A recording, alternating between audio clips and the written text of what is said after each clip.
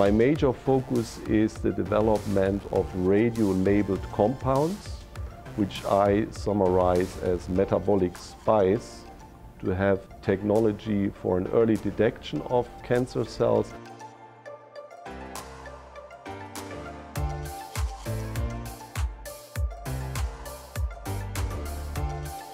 We're tired of seeing cancer patients die. And it's only through research that we're going to change that equation. We need basic discovery research really to understand more and better the fundamentals, especially of cancer disease, to make an impact. We are uh, seeing more and more increasingly exciting ideas getting closer and closer to patient care. And ultimately, we feel that one of these is going to be a home run.